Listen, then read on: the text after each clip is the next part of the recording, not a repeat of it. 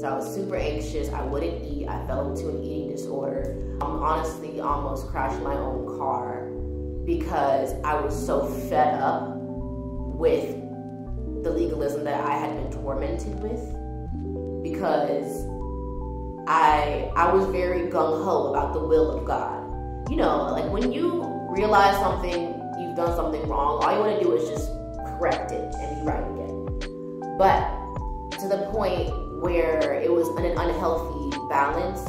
And that's why I fell into that legalism. I fell into that religion, religiosity and that religious mindset, that religious brain.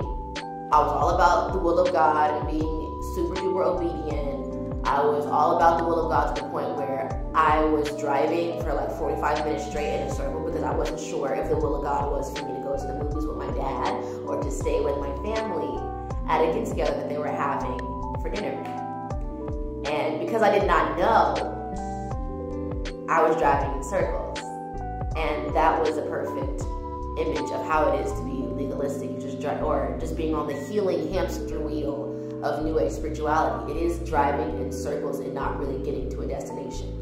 Because I missed the point of the fact that I had free will and that I was already free to make a decision and that God will meet me there. God will keep me regardless if I'm perfectly obedient, perfectly in the will of God, perfectly walking on each stone. See, I was terrified of stepping on the wrong stone. And if I stepped on the wrong stone, in my mind at the time, it would have been bust for me. That's a very terrible way to live. And I never acted like that until I had really immersed myself into the New Age because the New Age was very covert. I the New Age taught me, and the New, New Age spirituality is basically a it's a um, collection of different thoughts and belief systems, mainly esoteric, uh, sometimes occult, sometimes witchcraft, sometimes a dash of Christianity, sometimes you know a lot of Hinduism, Buddhism, but it's basically cherry picking all these different faiths to make a doctrine that is very detrimental to our spiritual health and our spiritual development. Regardless of how it tries to market itself as something good, it's basically like spiritual fast food. It's not something that is sustainable. We need a good, strong foundation of a relationship with the creator of all of these things, the creator of all things. And it's just a very intimate relationship, you know, it's an intimate relationship. I heard from God one day, and He told me to get on to meditate and to seek therapy because the things that I was into was not easy. It was not. I touched some dark stuff spiritually. And we as us as humans, we don't realize how much this stuff can mess us up until we get out of it. It's like some things we're just we're not meant to touch. But we got the free will to touch it. But all we can do is either succumb or leave with the lesson. You know, we can, we can leave knowing better or knowing that regard we, we, we will be okay.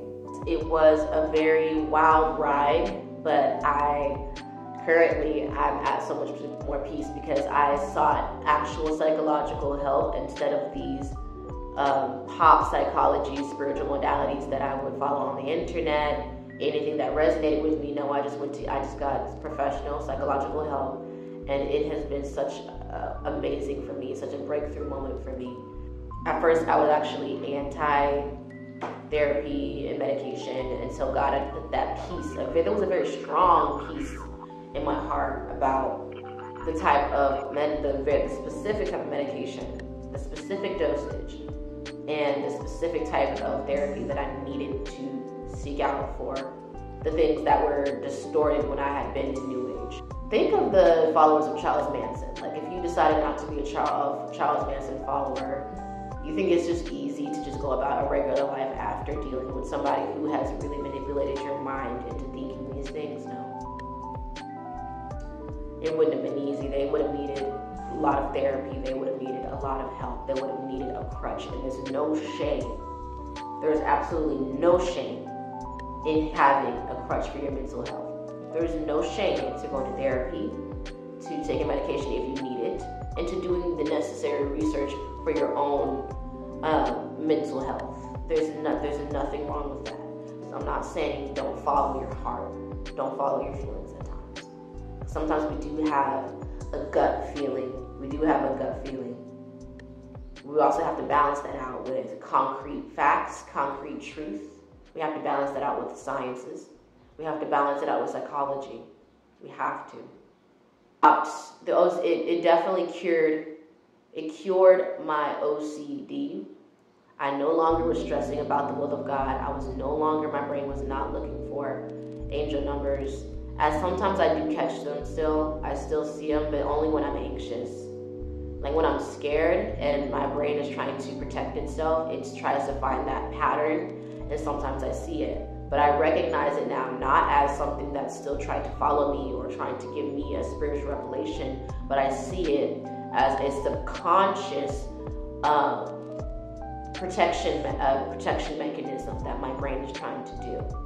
And I don't want to be in that mindset of fight or flight all the time, looking for patterns and signs. I want to live my life as an evolved, complex human being. And that's something that I'm glad that I had initially graduated from because I, the more that I followed this the numerology, the more anxious that I got, the more superstitious that I got. I was so superstitious. Really now, after a few years of medication and therapy, I began to see God more clearly for who He is. I began to understand Scripture more.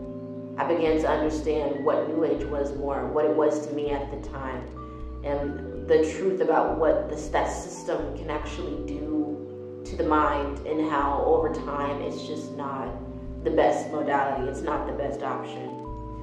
So the more that I walked with God and solidified our relationship, and we just, I'm still evolving with Him, get to know Him every single day. And it's, it's just an amazing journey. I'm getting better. Healing is non-linear, and I have my days. I do have my days. I have my days where I feel triggered again. I have my days where I feel like I've doubled doubled back. But everything will be okay. And I say that in the least cliche way possible. I say that in such a concrete way to the point where I have lived the it's going to be okay. I've lived that. Those were the stages of coming from New Age and currently in a relationship with God and learning more about God, myself. Um, that doesn't mean I'm any less spiritual. I'm definitely a spiritual person, but I have more of a balance in my life. I'm not relying on certain rituals and modalities and other type of things. Like if you do, that's you. This is my story. Okay? And I feel like a stronger human being. I feel stronger mentally, spiritually, emotionally, and it's definitely a journey. So, thank you for watching. This video was done definitely on a whim. If you have any struggles, just free feel to comment or message me on my social medias right here. If you have anything that you have any questions, if you have any questions about uh, the journey that I've been on, if some if any of this sounds familiar to you, feel free to message me, and I'll be more than happy to help to help you walk through it and guide you through it. Um, just just being a helping hand here. I'm also creating a Patreon where I will talk one-on-one with people that has gone through similar types of experiences and we will break all of that down more in depth. So thank you so much for watching. My Patreon is coming out soon, and thank you so much. Bye.